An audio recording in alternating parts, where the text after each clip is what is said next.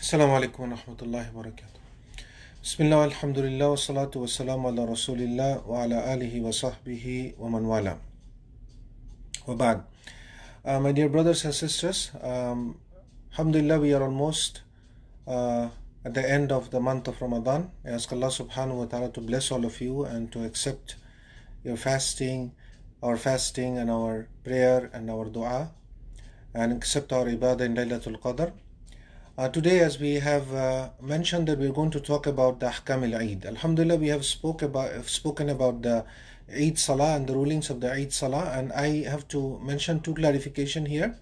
I forgot to mention that the, if the, if you are doing the Eid Salah at home, there is no khutbah required, and there is no khutbah uh, that should be given. Um, I'm not sure whether you know the position is we should not, but uh, the report of Anas ibn Malik, as you know uh, they only prayed so they didn't give any khutbah. So that's why the fatwa of majority of if not all of the scholars is that there is no khutbah if we are uh, making the prayer at home. This is number one. Second i mentioned that uh, when we do the extra takbirat of the eid there is nothing between the extra takbirat and that was wrong.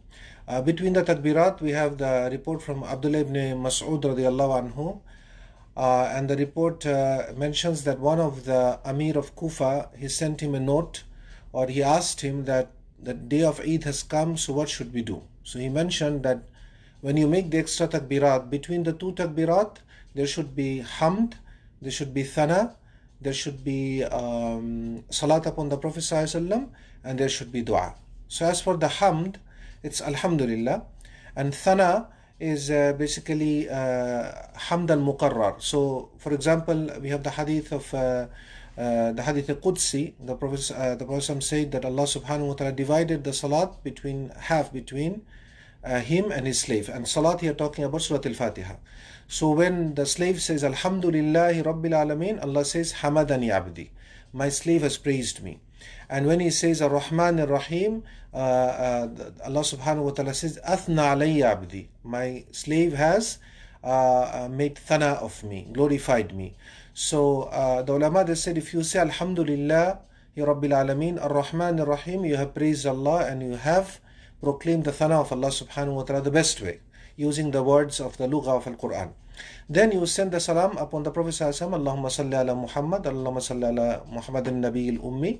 And then if you have time to make dua. So the, the takbir of the Eid should not be too fast, like Allahu Akbar, Allahu Akbar, Allahu Akbar. We should give some time. The one who is leading the prayer, he should be taught to give some time between the two takbirat. Between the two takbirat, so everybody can praise Allah, uh, glorify Allah subhanahu wa ta'ala, send salat upon the Prophet sallallahu and make some dua. So this is something recommended, and if we can do that, that would be inshallah wonderful with regards to the description of the Eid Salah. I have uh, sent the uh, the notes on the Eid Salah to the WhatsApp group. If you are there, inshallah, I'm sure you have received it. We are going to also post it in the uh, in the Facebook, inshallah. It's on our website, so you can also go ahead and check. Uh, with regards to the Eid, we know that the Eid is tawqifiyya, meaning this is something that Allah subhanahu wa ta'ala decides. We don't have a choice to declare a certain day as Eid.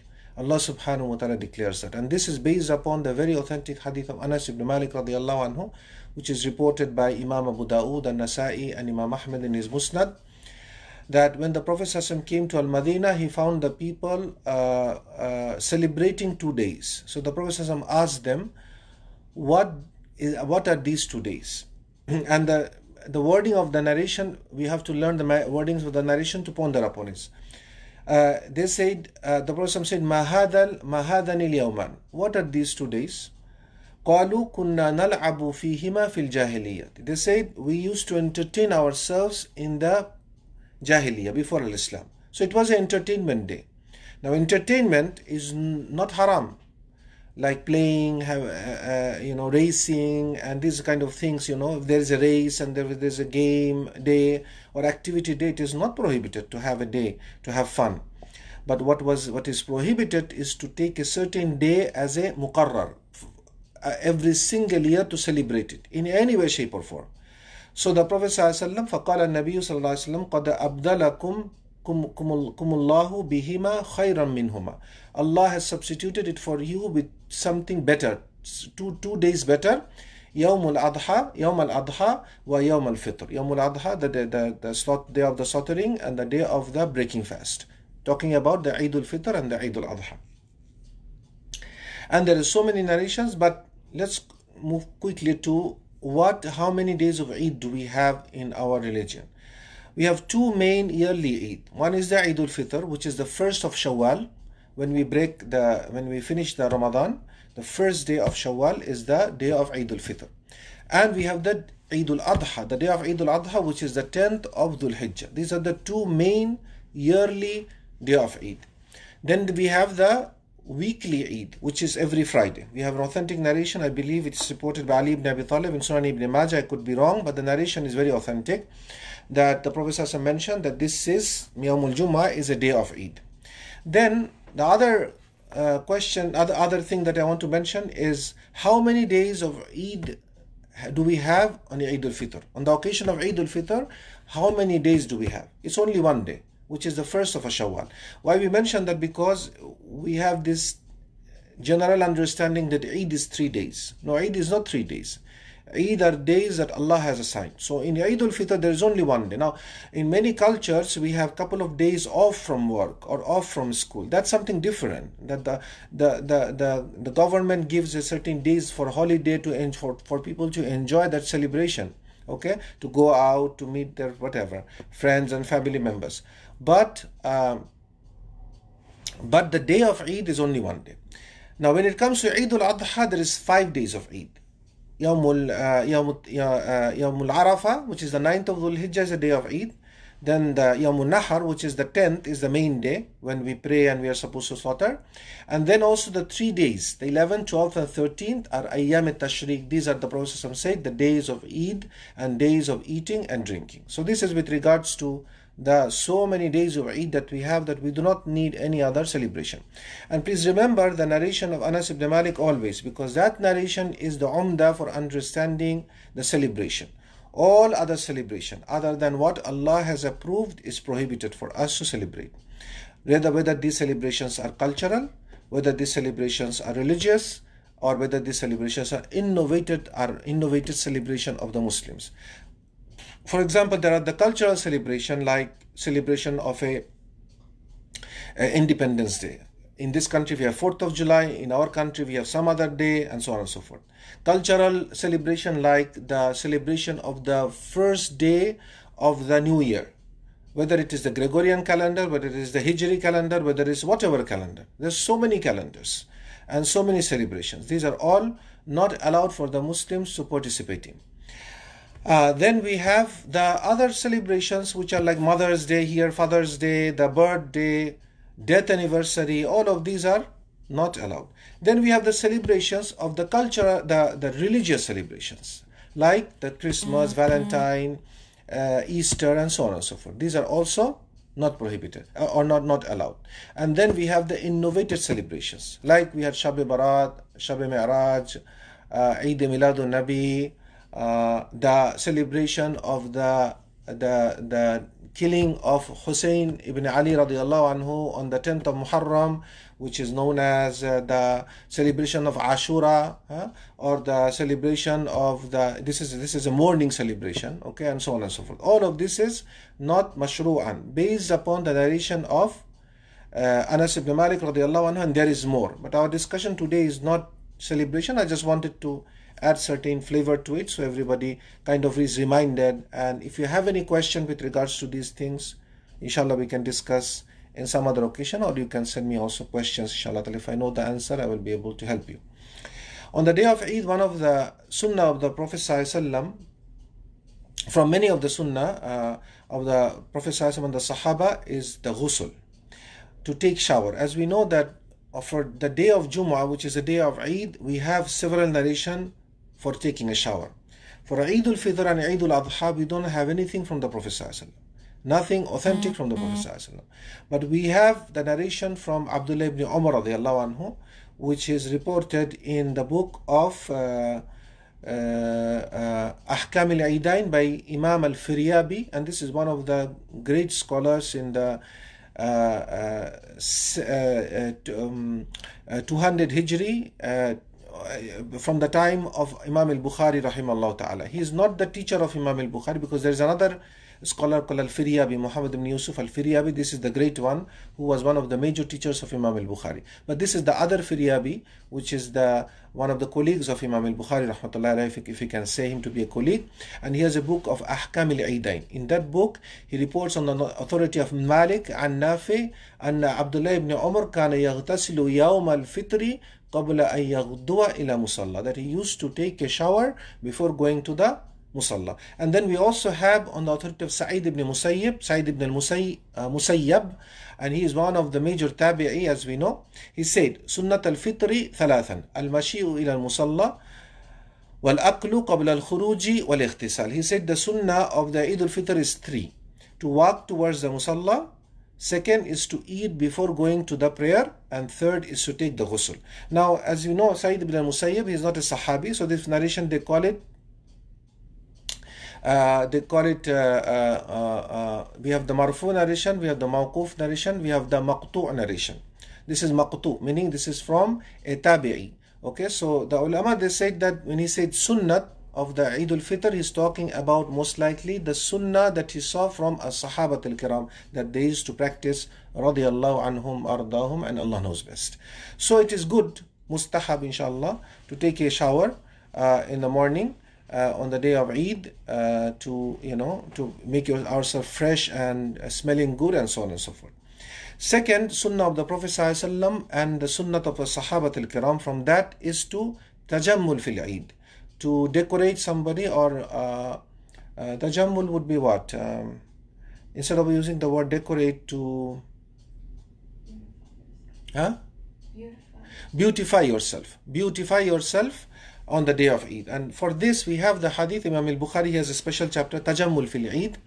Uh, to to basically you know beautify some uh, um, uh, to beautify somebody on the day of Eid uh, uh, on the authority of Abd, uh, Abdullah ibn Umar on the authority of Umar ibn Khattab and this narration is very beautiful because it is from Salim and ibn Abdullah Salim the son of Abdullah who is narrating from Abdullah ibn Umar, the father, who is narrating from his father, Umar ibn Khattab. So the grandson narrating from the son, narrating from the grandfather, Umar ibn Khattab. So the story is this that Umar ibn Khattab he brought a very nice dress for the Prophet, but it was made of silk. And he gave it as a gift to the Prophet. He said, O Prophet of Allah, why don't you take this and decorate yourself huh? uh, and beautify yourself? uh, to uh, on the day of Eid and on the day of Wufud, on the day of the delegation. When the delegations they come to meet you, why don't you uh, uh take this dress to beautify yourself? So the Prophet said, or adorn. This is the word I was looking for. Adorning yourself. Okay. Uh, so the Prophet said, this dress is for those who have no share in the hereafter. This is because it was made of silk, not because it is not allowed to adorn ourselves on the day of Eid, but because it was made of silk. So Umar ibn Khattab later on he went and he sold it and so on and so forth. So eh, based upon this, one of the great Imam, Imam as uh, Sindi, and Imam as Sindi, he is one of the there is lot of scholars from As-Sind. Sind is from Pakistan, big scholars from Hadith, uh, very well known, and this is one of them is Muhammad ibn Abdul Hadi As-Sindi. And he is this great Imam, he has a lot of uh, uh, notes he put on many books of Hadith including Musnad Imam Ahmad. And one of his famous one is the notes that he put on Sunan al-Nasa'i. In that notes, he said that from this hadith it is understood that it was the practice of the Sahabat al-Kiram to adorn themselves on this day. It's something understood from this hadith. And he said that if the Prophet, since the Prophet did not make inkar of it, he didn't say, no, you should not decorate yourself or adorn yourself on the day of Eid, which means that he allowed it and which means that this is the sunnah of as-sahabat al-kiram, which means that the Prophet approved it, so it is from his sunnah sallallahu alayhi wa alihi. So alhamdulillah, we should choose the best dress that we have. If you have a new dress that we bought or doesn't have to be a new dress, it is the best dress we keep where we uh, perfume it. As for the men, using the perfume on the day of Eid and using the miswak and cleaning the mouth to smell good. All of this is from the tajammul of the Eid or adorning somebody, some, oneself with the with the with the with the permissible things. As for the men, as we know that we have prohibitions too, because sometimes our sisters they think that all the prohibitions for them. It's not true. We cannot wear silk. Okay, we cannot wear gold, for example. We cannot wear jewelries which will make us look like the women. We cannot, uh, even if a man would like to put lipstick on his face and all sorts of makeup, okay, maybe somebody would like to do that, I don't know who. But even if he likes to do it, he will not be allowed to do it. It will be prohibited. Why? Because this is following the ways of the women. And the Prophet ﷺ forbade the men to imitate the women and the women, women to imitate the men and so on and so forth. And similarly, Allah subhanahu wa ta'ala put some restriction for the women. Uh, Allah made some things easy for them, like they can wear silk, full silk. Okay, they can wear any kind of jewelry made of gold or whatever. Huh? Uh, necklaces and uh, bracelets, which men, we don't have those kind of things. Although maybe we would love to wear it, many of us. Because in the paradise, we know that we will be given the bracelets of gold and so on and so forth. Men and women, all of us, all of us would be wearing that. Okay, how it would be, I do not know. But this is exactly what Allah subhanahu wa ta'ala describes the Ahlul Jannah that they will be decorated with or adorned with in the paradise. Uh, but the women have all of these. Look, all of the stores that we go to buy gold, there is very, few small section for the men. Of course, you know, because men don't like this to wear this kind of things in general. And we have that for the women. So Alhamdulillah, Allah has made certain things very wide open for them. But in certain cases, Allah has put restriction for them because He is the Lord. He created them. He knows what's good for them, and we do not know what's good for them. Allah knows what's good for them, so He put some condition. For example, women they can wear anything that they like as long as it is not imitating the dress of the kuffar or imitating the dress of the men. And but but they have to make sure that when they're stepping out of the home or they are in the home and they're in front of the uh, any man who are not their mahram, then they have to fully cover themselves uh, you know, they cannot show their adornments, they cannot show, show their makeup. It's not that they are not allowed to wear makeup, it's that they cannot show their makeup to the ghair mahram, the, the, the, the men who are not their mahram. Also, women have one restriction which men don't have that is, um, they cannot wear perfume outside so the other men will smell it. Why? Because Allah subhanahu wa ta'ala prohibited it as simple as that. Although they could be very righteous women, although they could be, mashallah, like uh, the Ummahat al Mu'mineen, somebody like the Ummahat al Mu'mineen, it does not matter. It does not matter what is the inside, it also matters what. Uh, how they submit uh, themselves to Allah subhanahu wa ta'ala. And I believe that somebody who is good inside, definitely Allah will help that woman to submit to Allah subhanahu wa ta'ala. There is no way that the doors of the truth or the doors of obedience will be closed for her unless she herself closes it with her own hand, that's another issue.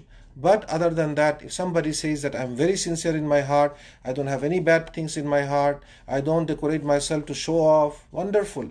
Then inshallah, I'm sure that those type of uh, sisters, Allah will guide them to understand that yes, your your heart is very good. That is wonderful because some women they cover, but their heart is so bad okay? They are they are not good. They are just doing it maybe maybe because, because they are afraid of people. Maybe they're afraid of their husbands. Maybe they're afraid of what people will call them but their inside is very bad.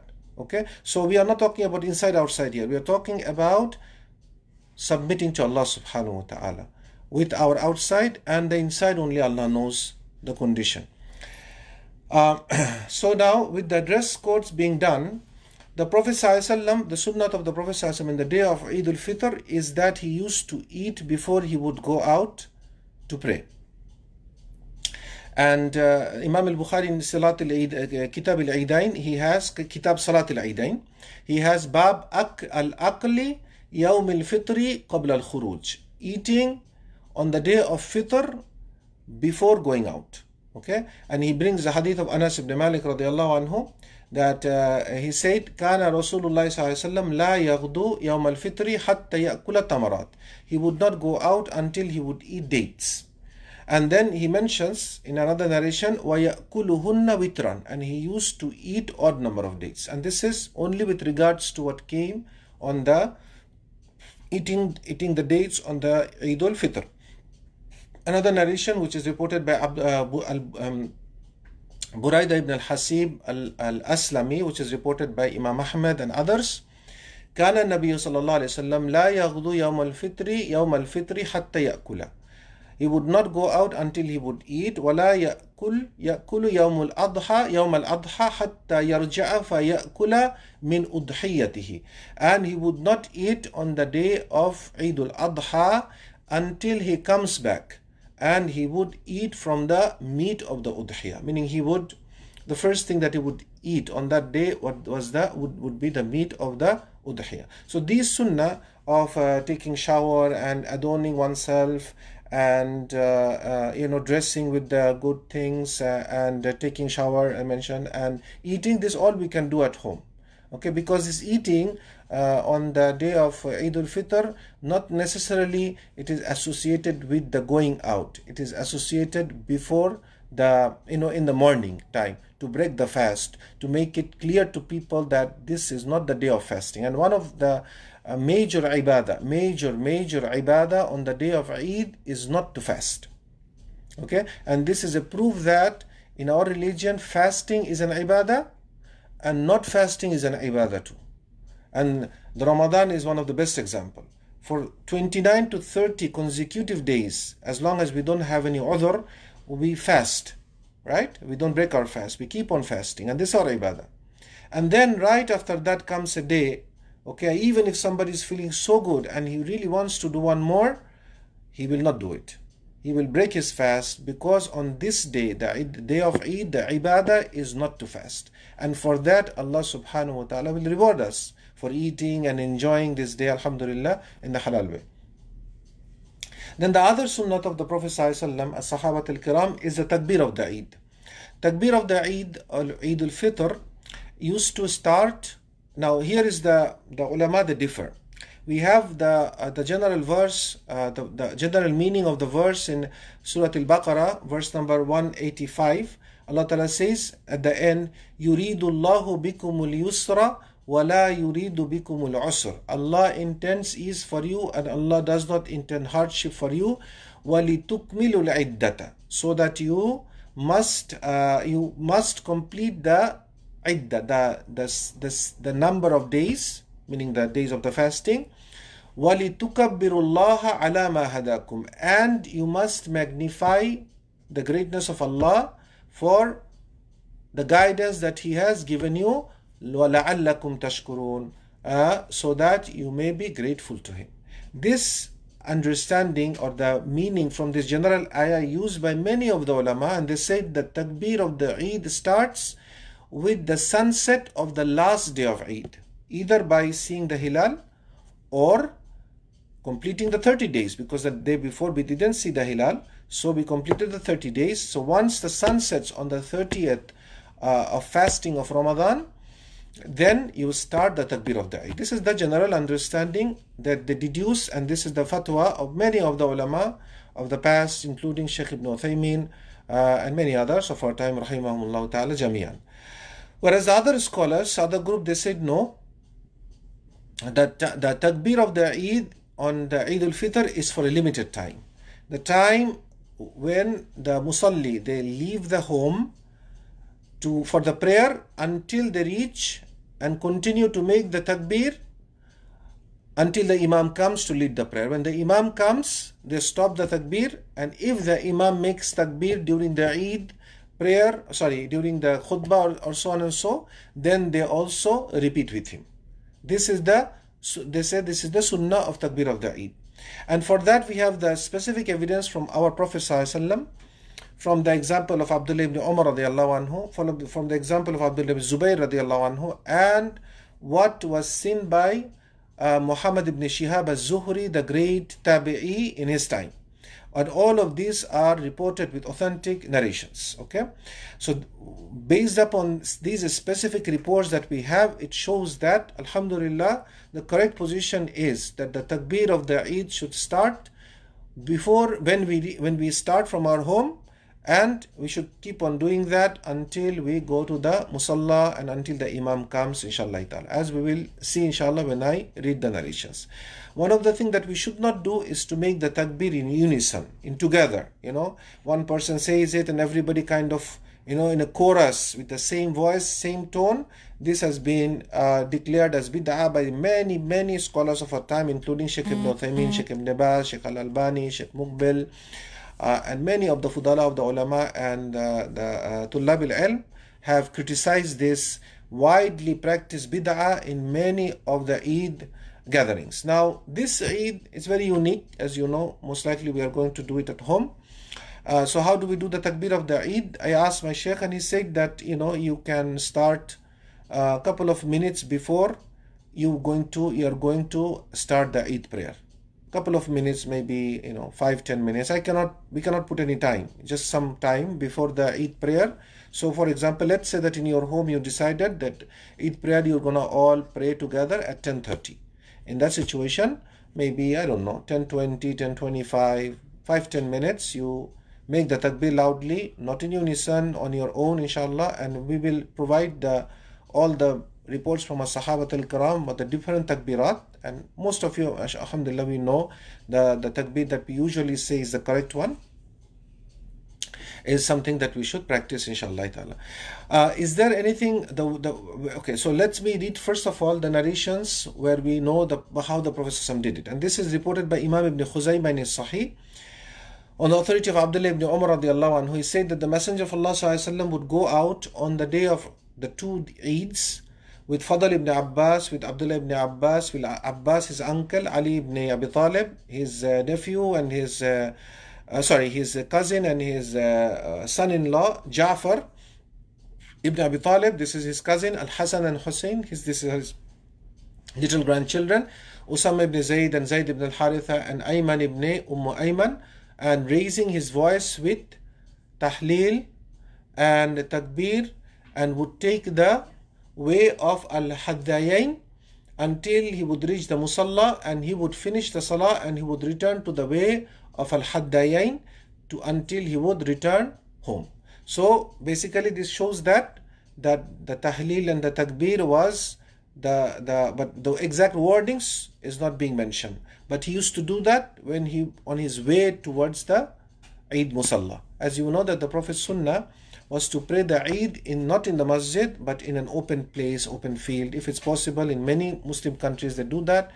In Austin, we have a couple of times done it, but you know it's not always maybe possible to do that. Uh, so sometimes we pray here, sometimes we pray there. But Alhamdulillah, the Sunnah of the Prophet is if it's possible to gather everybody in one place, in a one big place, and to establish the Eid prayer in the uh, open field as was done in his time. Then we have the narration of Abdullah ibn Umar radiallahu anhu, which is reported by Imam al-Firyabi in his uh, book uh, uh, Ahkam al-Eidain and also Imam al-Tahawi al-Hanafi in his book Mushkil al-Athar famous book Mushkil al-Athar and both of these narrations are authenticated by Imam al-Albani and others that uh, uh, Nafi his freed slave said أنه كان عن, عن ابن عمر أنه كان يجهر بالتكبير يوم الفطر إذا غدا إلى المصلى حتى يخرج الإمام فيكبر بتكبيره he used to go uh, uh, making takbir from his home towards the musalla uh, towards the musalla and he would continue to make takbir and when the imam would come and he if he did takbir then he would also make the takbir with him uh, then we have the narration of Abdullah ibn Zubayr also in Mushkil al-Athar and the isnad is sahih that when Abdullah ibn Zubayr came out of the day of Eid and he found that the people are not making takbir he said what happened why don't you make takbir? Okay, by Allah, then he said, by Allah, since they don't do takbir, let me tell them. He said, you would see us, meaning he's talking about uh, uh, the times of, uh, you know, uh, the Khulafa Rashidun, most likely the Prophet's time, because he does not clear. He said, if you see us, meaning the Sahaba, so we can go back all the way to the Prophet Sallallahu inshallah, you would see us in a large group, in the end, the end of which you cannot see, meaning there's so many people. And the man would make takbir and those around him until the whole group will resonate with takbir. And between you and them is the distance of the lowest earth and the highest heaven. I'm talking about the higher status of a Sahabat al-Kiram and the lower status of a Tabi'i. The difference between a Sahabi and a Tabi'i of course is big, you know, huge because he's a they are Sahabi and these are Tabi. They didn't meet the Prophet Wasallam, and he's telling them that you know, although your distance is really big, but you can still follow them. You know, why are you forgetting? And if this is the situation of in the time of Abdullah ibn Zubayr think about what happens in our time. In our time, unfortunately, you know, they think that a person has to literally sit with the microphone and sing the the takbir of the Eid until people don't want to do it. And it has become such a matter that people come and say why there is no takbir. And we usually tell them, what do you mean by why there is no takbir? You should be making the takbir. Everybody should be making the takbir. That's when things will resonate okay and there will be the the exactly the mahal which used to be in the time of the prophet but to assign a person to do this jamaat takbir of screaming and everybody chanting behind him this is not from the sunnah of the prophet sallallahu never was done by the prophet never been done by the sahabat al-kiram including these narrations when they talk about this takbir it is not talking about a certain person. This is not possible in their time to appoint a certain person in a, such a big gathering that everybody is going to follow his takbir it is not possible. And the other thing is, as we will see from the wordings, as Sahabat al Kiram different wordings. So when you have different wordings of takbir, how are you going to resonate with one? Today you have a tone, uh, you have a tone they have set up. If that tone is not there, as if the the spirit of the Eid is not there. This is not from the Sunnah of the Prophet sallallahu alaihi wasallam. Also, Imam al-Zuhri reported and this is in Irwal Ghalil, Imam al-Albani authenticated it from the Musannaf ibn Abi Shayba and others. He said, كان الناس يكبرون في العيد حين يخرجون من منازلهم حتى يأتوا المصلى وحتى يخرج الإمام فإذا خرج الإمام سكتوا فإذا كبر كبروا. He said that the people and when Zuhri is saying people, he's talking about the great number of tabi'i and maybe a sahabat al-kiram, some of the sahaba, they were still there. Because Zuhri is a, well, Imam Zuhri is one of the sigar tabi'in. So he only narrated from Anas ibn Malik and Asaib ibn Yazid. If I am not wrong, these are the only two sahabi. There could be one more, but these are the only two which comes uh, right now to, uh, uh, uh to my memory. Uh, this is why he's a tabi. So when he's talking about these are just the group of people who saw the Sahabat al-Kiram practicing the days of Eid. He said they used to make the Eid when they would leave, sorry, takbir when they would leave the home and they keep on make the takbir until the Imam would come and the, when the Imam would come, sakatu. They would stop and if the Imam would make takbir, they would also make takbir with him, which is the sunnah of, uh, as we know, uh, of As-Sahabat al-Kiram radiallahu anhum ardam. As with the, the regards to the wordings, we have the famous one from Abdullah ibn Mas'ud, which is alhamdulillah everybody knows. Uh, so we have two reports from him, both are authentic. One is Allahu Akbar, Allahu Akbar, Allahu Akbar, three times. La ilaha illallah, Allahu Akbar, Allahu Akbar, walillahi alhamd. The other one is with two times, Allahu Akbar, Allahu Akbar, La ilaha illallah, Allahu Akbar, Allahu Akbar, walillahi alhamd. We have also authentic reports from Abdullah ibn Abbas, and so on and so forth and we will inshallah provide all the links for that. You can print it out and you can even change the takbirat inshallah and try to uh, say what the sahabat al-kiram used to say on the day of Eid. With regards to the sunnah of greetings each other on the day of Eid we have this you know common uh, term Eid Mubarak everybody says. These are all you know colloquial uh, uh, cultural ways of congratulating each other. Uh, but from uh, do we have something from the Prophet ﷺ? Nothing. But we have from a Sahaba al-Kiram. And this is reported by uh, Imam al-Mahamili in Kitab Salat al-Eidain and has been authenticated by Imam al-Albani in Tamam al-Minna. عن جبير بن نفير رضي الله عنه this is one of the tabi who said أنه قال كان أصحاب النبي صلى الله عليه وسلم إذا التقوا يوم العيد يقول بعضهم لبعض تقبل الله منا ومنك.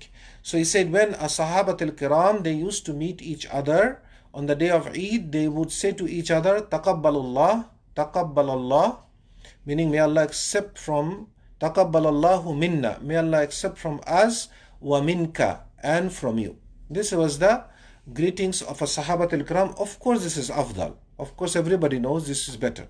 But can somebody say uh, Eid Mubarak and this and that. This is something like uh, uh, generally it is not prohibited, it is allowed, you know, as long as Alhamdulillah we do the essential one. What is essential? Not I'm not gonna say it is obligatory. Essential means like what is being reported from a Sahabat al Kiram. Okay, that is awla.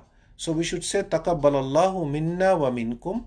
Takabbalallahu minna wa minkum. And then may Allah make the Eid the blessings for you or all of these cultural things what we say to congratulate each other. These are not fall under the category of literally ibadah. This is the way we communicate with each other. And all of this is mubah. Allowed materials, insha'Allah ta'ala. Uh, Imam uh, Malik was asked about this and Imam Malik was asked about the specific wordings and he said that this has been our way always that we say to each other taqabbalallah taqabbalallahu minna wa minka. Uh, uh, then we come to the other uh, shaking hands and hugging embracing. Uh, we have a lot of cultures uh, that they think that Eid will not be complete until we do the hugging. In the culture that I come from, this is almost became an ibadah. And they have also made a certain way of hugging. For example, the right chest has to touch the right. And then you're going to do the left one. So one, two, three. Until you do all of these movements as if the Eid is not going to be complete. This is not correct. Because we do not have these actions being approved as a sunnah of Eid. Okay, and I'm going to explain it to you what is allowed of it and what is not allowed of it. First of all, let's talk about the hugging. In the sunnah of the Prophet ﷺ, we don't have any evidence. As far as I know, I could be wrong, but I have we have I have not seen any evidence that the Prophet ﷺ hugged the Sahaba or the Sahaba hugged each other. I could be wrong, as I said, but as far as I know from my knowledge, limited knowledge, that there is not. However, the Prophet used to hug the children. And we have narration of Abdullah ibn Abbas, he said, Dammani Rasulullah sallallahu." and this is in Bukhari. The Prophet hugged me. And he said, Allah ma'allimul Quran. And you know that famous narration. And also we have the hadith of Abu Hurairah in Bukhari, that the Prophet a'naqahu, like he hugged his grandchild. Okay? And he kissed him and so on and so forth. Hassan and Hussein, that narration of Abu Hurairah in Sahih Bukhari. But for the grown-ups to hug each other, this is something that's not been reported. There are some narrations that says the Prophet forbade the men to hug in normal circumstances except when somebody comes after a long visitation. But these narrations have maqal, as meaning like the chain of narrations are not authentic. Okay, the chains of narrations have some criticism. So there is nothing, I would say, like quote unquote narration that prohibits us from hugging each other. The men hugging the men and women hugging the women. But to make this as a ibadah for the day of Eid, this is the problem. This is when we will run into a big problem. Why? Because we are going to make a mashru'an, something to be legislated, not allowed. As I mentioned to you, sometimes people uh, say always we do it in the Eid. That's fine. If you do something always in the Eid, like for example, every Eid we cook biryani. Okay, this is our tradition. Nothing to do with religion. Every year we uh, cook, uh, for example, maqluba, another another culture I'm talking about, or uh, you know kebab and uh, paratha another culture we're talking about. This has nothing to do with religion. It's just that their practice. We cannot say it is not allowed for you to say, uh, you know, cook this certain kind of food every Eid. This would be bidah. No, it's not a bidah. It's just as cultural practices of different lands of different people. They do it on, a, on the day of Eid to enjoy themselves. This is absolutely fine. But when somebody says this is what the Muslims should do in the day of Eid, then now it becomes in the category of legislating something into the religion without proof. So if somebody is hugging each other because it is just that this is how they want to you know show their uh, appreciation to each other uh, welcoming each other being happy about it this is one thing but if somebody says that this hugging is part of Eid this is where the problem is and this is where it will end up being an innovation. And as i mentioned to you the culture that i come from unfortunately this has become the i'm not talking about the tradition. Tradition is one thing. I'm talking about it has become kind of a way that if you don't do that as if you have not fulfilled one of the rights of the day of eid. Not correct. That is not correct.